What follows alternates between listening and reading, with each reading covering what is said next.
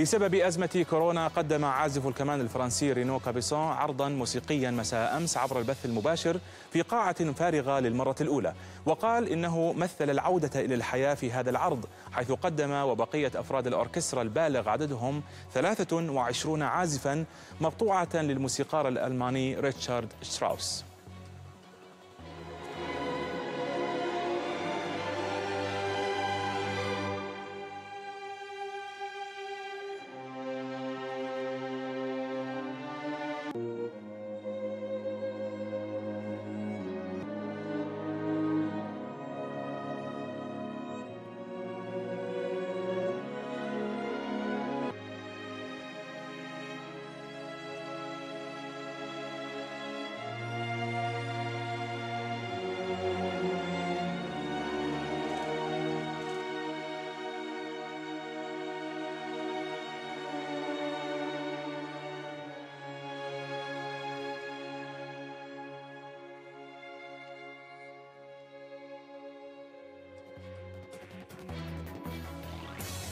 التعبير عن العودة للحياة يتخذ أشكالا كثيرة منها الموسيقى. إذا